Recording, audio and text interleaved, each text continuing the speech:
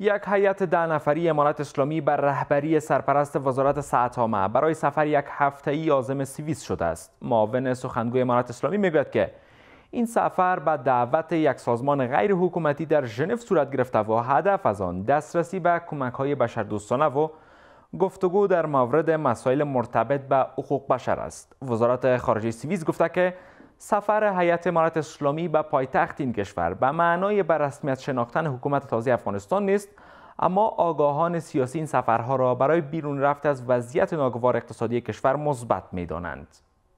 اسدالله حکیمی گزارش می‌دهد. دومین سفر هیئت امارت اسلامی به اروپا. دو هفته پس از نشست اسلو یک هیئت ده نفره امارت اسلامی به رهبری سرپرست وزارت صحت عامه روز گذشته عازم ژنو پایتخت سوئیس شده است. معاون سخنگوی امارت اسلامی می‌گوید که این هیئت از سوی یک سازمان غیر حکومتی به نام ژنفکال دعوت شده و هدف از آن دسترسی به کمک های بشردوستانه و بحث روی مسائل حقوق بشری است. یک کنفرانسی دایر میشه که مسائل بشری چگونگی رساندن کمک ها به نیازمندان در کل جهان و همچنان نرم ها و معیارهای بشری و مسائل اقتصادی و بشری افغانستان زیر بحث قرار گرفته میشه سازمان ژنفکال از روز دوشنبه تا جمعه هفته آینده میزبان هیئت امارت اسلامی در پشت درهای بسته می باشد.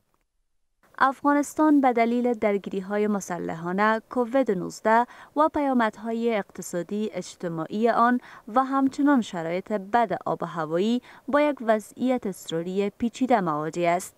امروز 23 میلیون افغان با خطر سوی تغذیه مواجه است و 97 درصد جمعیت آن زیر خط فقر زندگی می کند. این هیئت با مقام های سیویسی و سایر مقام های اروپایی و صلیب سرخ جهانی نیز دیدار خواهد کرد. وزارت خارجه سوئیس اما گفته که حضور هیئت امارت اسلامی در آن کشور به معنای برسمی شناختن حکومت تازه افغانستان نیست. روابط بین‌المللی و روابط دیپلماتیک افغانستان با کشورهای جهان خوب می شود این یک دهلیز خوب برای برسمی شناختن امارت اسلامی افغانستان است و کشورهای جهان باید مقاصد و اهداف استراتژیک خود را یک طرف گذاشته به خاطر جلوگیری بحران اقتصادی و بشری در افغانستان باید کوشش نماید شمار از آگاهان سیاسی هم این گونه سفرها را مثبت می‌خوانند و تاکید دارند که این سفرها به خاطر نگرانی کشورها از وضعیت حقوق بشری در افغانستان است.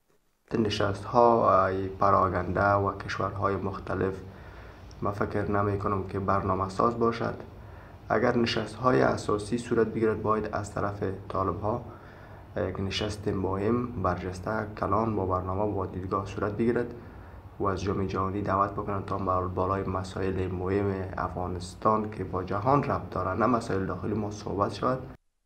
هرچند از روی کار آمدن امارات اسلامی شش ماه می گذرد اما تا هنوز از سوی هیچ کشوری به رسمیت شناخته نشده است. امارت اسلامی همواره گفته که شرایط به رسمیت شناختن را کامل کرده اما کشورها پیوسته بر رعایت حقوق بشر و ایجاد حکومت فراگیر تاکید کرده است.